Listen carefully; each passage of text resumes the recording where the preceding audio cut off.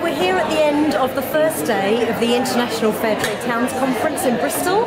I'm Jenny Foster, the Fair Trade Coordinator for Bristol and the Southwest, and it's been my honour to organise this event along with a wonderful team of volunteers, our fair team, in their distinctive turquoise t-shirts that have done a wonderful job of looking after everyone today. It's been a really inspiring day. We've heard from some wonderful speakers, and I think we've all learned so much about fair trade and sustainability, and really demonstrated how fair trade is part of sustainable development and it really needs to be built into the way that governments and local people see sustainable development in the world.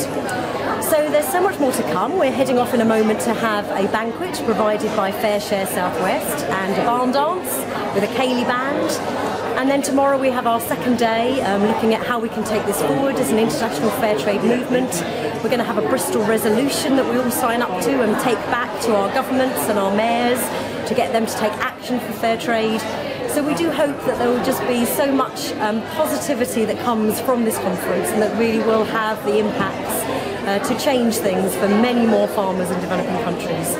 So it's been a wonderful first day and I'm excited for day two.